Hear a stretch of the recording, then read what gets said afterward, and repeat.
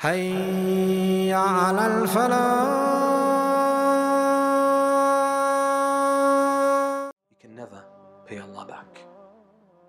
No matter what you do, you will never be able to pay Allah back. So don't feel proud about your prayer. Don't think, oh, I've been really great in my prayer and you know I have such a great favor on Allah subhanahu wa ta'ala. No, you don't have that.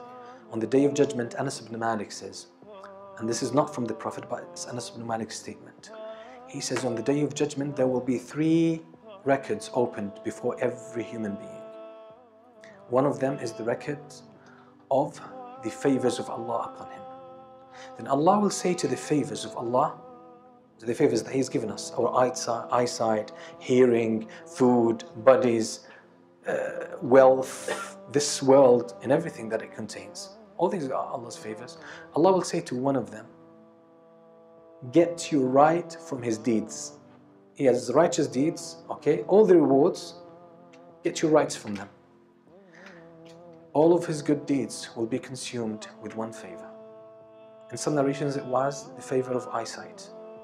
The Prophet in another hadith mentions a story from nations that came before Islam. The Prophet says that he will be brought in on the day of judgment. And this person worshipped Allah for 60 years non-stop. The day fasting, the night praying.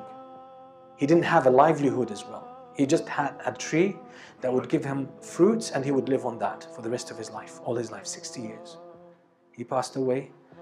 The Prophet says on the day of judgment he will be brought and he will be proud of himself. And Allah will say to him, O oh my servant, do you think you will enter paradise with your deeds? He looks back at his deeds, 60 years of complete devotion. He says, Yes. Allah says, Okay, fine.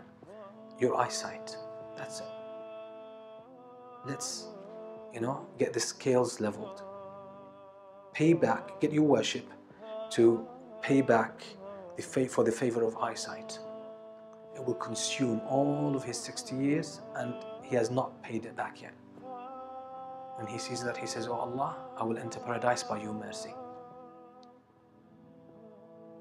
So it's only Allah's mercy. You can never pay Allah back. So no matter how hard you try, no matter how great you get with the prayer, it's never enough. So your best is never enough. The Prophet ﷺ himself, with all his worship, all his great works, he says, لَنْ يَدْخُلَ أَحَدُكُمُ الْجَنَّةَ بِعَمَلِهِ None of you will enter paradise because of his own deeds. The companion said, Not even you, O Messenger of Allah, said, Not even me. إلا أن يتغمدني الله برحمة من عنده except if Allah showers me with His mercy. That would be the reason for me to enter paradise.